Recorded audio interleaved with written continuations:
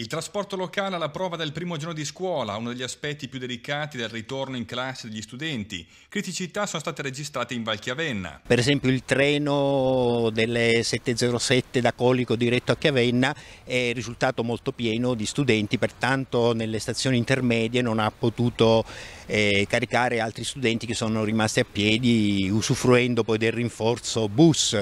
E a Trenord oggi si è rivolto con una lettera urgente il sindaco di Chiavenna Luca della Bitta chiedendo la programmazione di un servizio adeguato alle esigenze di trasporto del territorio. È scomparsa una corsa che era importante per gli studenti.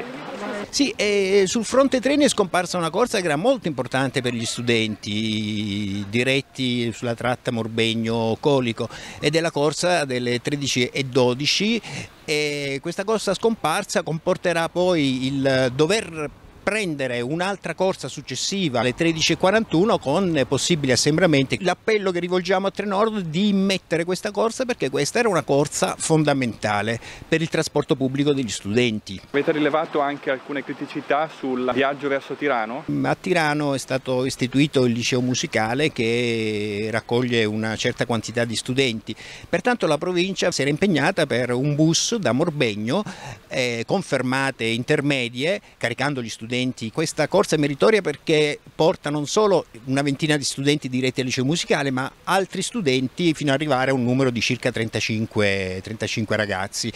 E il problema però è il problema del ritorno perché il treno del ritorno delle 13.08 da Tirana è un treno che non effettua fermate intermedie, l'unica fermata intermedia è a Tresenda, poi arriva a Sondrio, invece sarebbe necessario per questi studenti che sono appunto residenti in comuni lungo la tratta di fare delle fermate come la fermata di Ponte, come una fermata a Berbenno ad Ardenno. Oggi in media si è registrato un 20% in meno di studenti a bordo, c'è chi si è fatto accompagnare dai genitori, chi ha utilizzato lo scooter. Nelle stazioni, per evitare assembramenti, in azione la polizia locale e gli autisti. Mi sembra giusto sottolineare l'opera meritoria degli autisti dei bus che stanno veramente svolgendo nelle stazioni delle corriere dove ci sono gli assembramenti delle funzioni da operatori sociali e questi lavoratori stanno controllando, evitando assembramenti controllando gli studenti per l'uso delle mascherine.